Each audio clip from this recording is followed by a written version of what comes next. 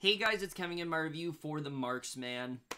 So what The Marksman is essentially about is we center on the character of Jim Hanson. He is this retired uh, U.S. Marine who lives along uh, the Arizona-Mexico border, and basically he's someone that also uh, attempts, you know, he reports attempted like illegal crossings and things like that. And one day he encounters this mother and son who are Mexican citizens on the run from the cartel, and he witnesses this tragedy that ends up happening when uh, her son Miguel, um, when uh, Miguel's uh, mother Rosa is killed, and basically he decides to protect Miguel and basically try to get him away from this cartel and hopefully just give him a better life overall. So the Marksman, I was not really excited uh, for this film. I mean, I will say it's very fitting that even in a pandemic, one of the first movies to start out the year, in fact, the first theatrical movie to come out of the year is still a, a Liam Neeson action film that's very on brand for January and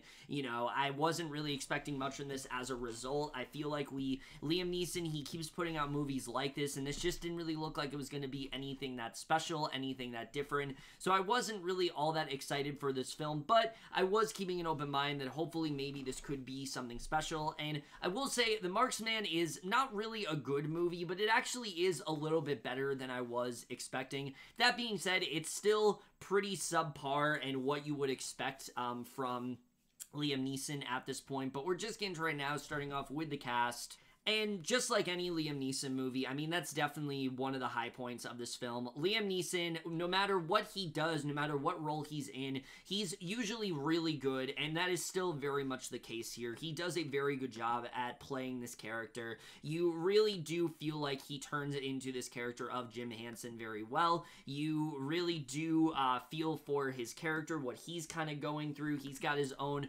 sort of personal tragedy as well, and I think Neeson did a good job with that, but also just the care that he puts into. You can tell there is still legitimate effort there, and he's always good at playing these roles. He's always very convincing in them, and that still hasn't really stopped here. He's still really good in this movie, and I liked what he did end up bringing to the table here. He was far and away, shocker, the best thing about this movie. But also Jacob Perez, who plays Miguel, the young boy in this film, is also not that bad. I actually enjoyed his performance here. I was worried at first that this was going to be a child performance that was not that great, but I actually thought he did an alright job in this movie. I enjoyed his chemistry with Neeson. I thought the two worked off each other very well. You cared about their bond uh, because of how well they worked together overall, and I thought he did a good job in this movie. I found myself liking um, what he did in this film, and I thought he matched up against someone like Neeson pretty nicely. But now let's get to the directing and the writing, which this is what I will say about the directing here from Robert Lorenz.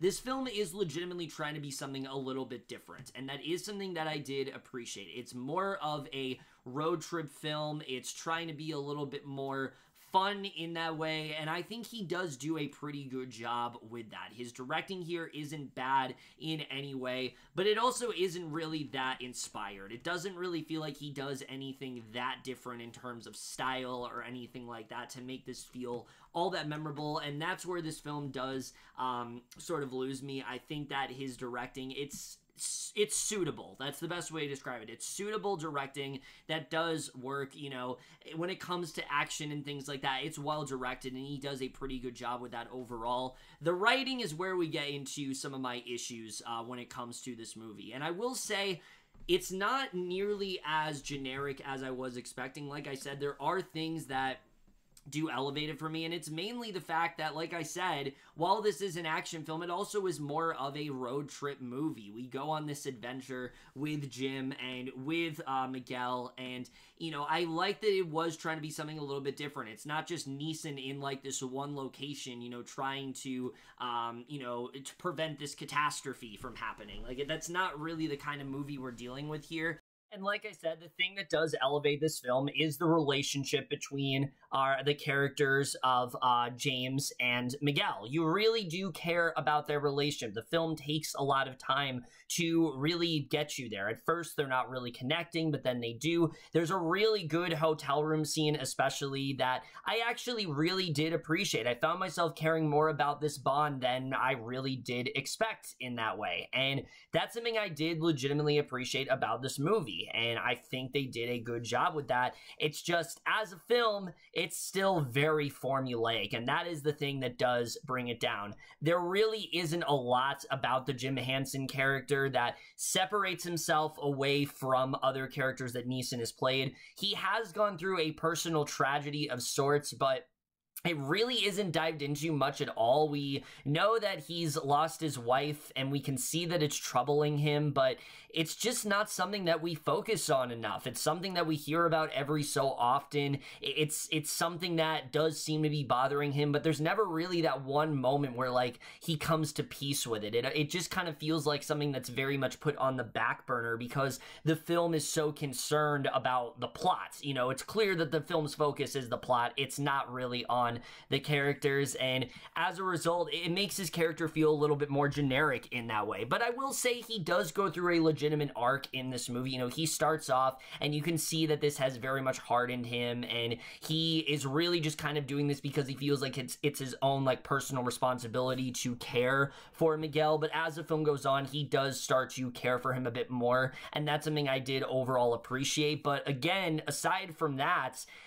it's still just the badass, you know, main character that seems to be on top of every situation and you know, always seems to be the one to, you know, rescue everyone and get himself involved with these crazy characters, but always comes out on top in that way. There just, there really isn't anything that different to him as a character the villain in this movie as well. He's just so over the top. He really is just someone that he's just so intent on pulling miguel into the cartel and there just really isn't anything else to him. He's very stereotypical in that way and i just don't think the film does a very good job with uh, his character. He just he feels very one note and the film really takes no time to flesh him out and he just ends up being a very forgettable and honestly kind of cheesy villain overall. The way they portray the cartel cartel itself. It's just done in such a uh, cheesy and corny manner the way they go about it. It just it, it it feels very over the top in that way. It doesn't really feel like it's given the time to really be fleshed out or anything like that. So I think that definitely does uh, bring the movie down overall. And there are a lot of story elements that just don't really feel like they get the time here. There's a side plot with Miguel liking this girl, but it just it feels very surface level. It never really feels like the film is really um giving it the proper depth that it really does need. And so again, while there are things I can appreciate, there still are a lot of things that does bring it down. Uh, my other complaint with this movie is Katheryn Winnick's character. She plays this character Sarah in the movie that, you know, she starts off and you think she's going to be very integral. She talks about how like she's very worried about Jim because he's getting old and she doesn't think he can do this any longer, but it never really feels like she has that much of an impact on the story. She's there and she's in the movie, but she kind of disappears after a while, and you don't really understand what the point of her is, why she really has as much involvement as she does in this story, and I do think that overall very much did hurt the film. So again, the screenplay, it, really just isn't anything that special. We have very much seen it done before, and the way the movie wraps up, especially, I was not really um that impressed by it, but there are a couple things that do make it a little bit more fresh than I was expecting, and that, that is something I did enjoy about the screenplay. Cinematography wise, I really did not think this film was anything that special. The action scenes are fine for what they are, but nearly every single one of them is forgettable. There really isn't one that I'm thinking of right now that you know, is coming back to me. I can't think of that one action scene that like really sticks out as like that's the reason to go see this movie. They all just kind of feel the same in that way, and I, don't really think the film did a very good job with that at all. I wasn't that impressed when it came to the action sequences in this movie. They're not bad or anything, but they're just generic. Like we've just we've seen them done before.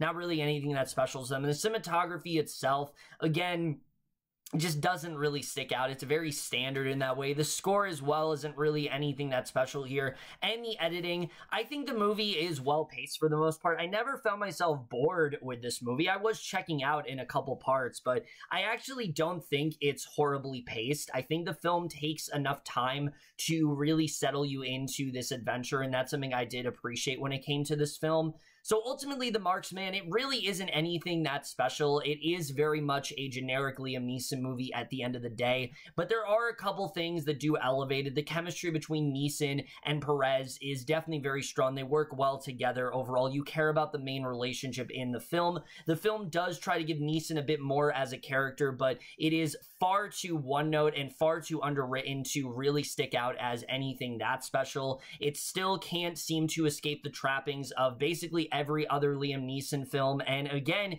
it just kind of makes you wish he was doing something else. Liam Neeson is a very talented actor and I just don't know why he keeps resorting to these kinds of movies. He keeps talking about oh, I'm kind of done with action movies, but it, it, doesn't really seem like he is because he's still doing the same thing here. And I feel like it's really limiting him as an actor. I want to see him do more things like, say, Silence or something like that, but he's not really doing that. He's continuing to do stuff, always good in them, but that's really all there kind of is. As a film, this really isn't anything that special. It's basically what you are expecting it to be. Again, there are a couple things that do elevate it, but it really isn't anything that special at the end of the day. So I am going to give the Marksman overall a C plus.